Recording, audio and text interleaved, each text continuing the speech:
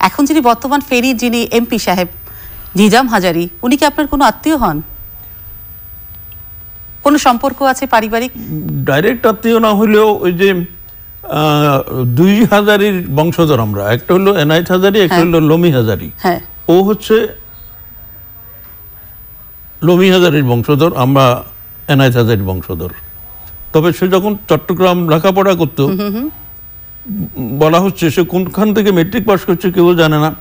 অনেক কিছুই তার সব কিছুতেই একটা ভিন্ন ব্যাপার থাকে আছে।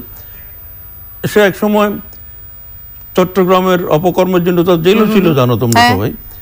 চট্টগ্রাম থেকে ফেনী আসে। ফেনী এসে আমার কাছে আশ্রয় চাইলো যে আমি চট্টগ্রামে এখন আর আমার জন্য সুবিধা না আমি ফেনীতে রাজনীতি করব। তখন আমি তাকে ফেনীতে সুযোগ দিলাম হ্যাঁ, রাজনীতি করার। তবে তাকে ওয়াচ করার জন্য আমি কোনো পদে কখনো তাকে রাখি নাই। তবে সে আমার সমস্ত কর্মকাণ্ডের সঙ্গে যুক্ত ছিল আমার অন্যান্য কর্মীদের সঙ্গে যুক্ত ছিল এবং আমার গাড়ি চালাতো। সবাই অনেকেই বলে হ্যাঁ, যে সে আমার ড্রাইভার ছিল।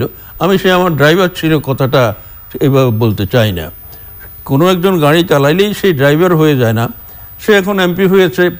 সে সেই সেই ষড়যন্ত্রকারীরাই তাকে ছাড়া মানে আমাদের ওই গ্রাম বা আমাদের বংশের হাজারি ছাড়া অন্য কাউকে দিয়ে আমাকে কাউন্টার করাটা সম্ভব ছিল না। সেজন্য আমাদের যে নিজাম হাজারি আপনার গাড়ির ড্রাইভার ছিলেন অর্থাৎ গাড়ি আমি- এরকম আপনার কথা যে পাইলট গাড়ি চালাতেন এবং তাকে রাজনীতিতে আপনি অনেকখানি সুযোগ করে দিয়েছিলেন অর্থাৎ কিন্তু আপনার দীর্ঘ অনুপস্থিতিতে সেই নিজাম হাজারি এখন ফেনীর স্টিয়ারিং তার হাতে সে পাইলট এবং সে আপনার সবচেয়ে বড় প্রতিপক্ষ মানুষ বলে। আপনিও তো তাই স্বীকার করছেন নিশ্চয়ই। এটা তো বাস্তবতা। অস্বীকার সেই বাস্তবতাকে মোকাবেলার জন্য কতটা প্রস্তুত জয়নাল হাজারি? কিচ্ছু লাগবে না। কিচ্ছু লাগবে না। লাগবে? এক সেকেন্ড একদিন শুধু নেত্রী বলবে আপনি ফেনী যান। এবং ফেনী গেলে আমি ফেনী ট্রাং রোড একটা জায়গা আছে যেখানে দুই তিন চার দিকের রাস্তা সেখানে সব মিটিং মিছিলগুলো হয়। হ্যাঁ। শুধু গিয়ে সেখানে দাঁড়াবো একটা বক্তৃতা করব ওদের সব তছনছ কিছু থাকবে না।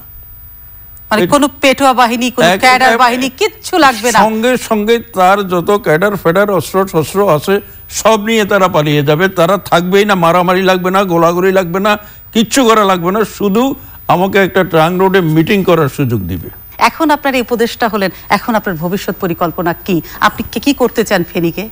কিছুই করতে চাই না কোথাও। আপনি ফিরতে তো চান ফেনীতে? ফিরতে তো চাইবই তবে নেত্রীর সরাসরি অনুমতি ছাড়া যাব না।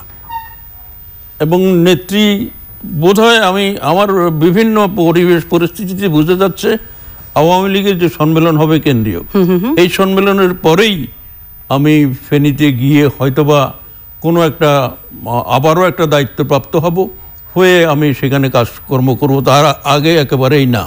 তবুও এই মুহূর্তেই যদি টেলিফোন করে বলে নেত্রী ফেনী যেন আমি আপনার এই অনুষ্ঠান ছেড়ে দিয়ে চলে যাব।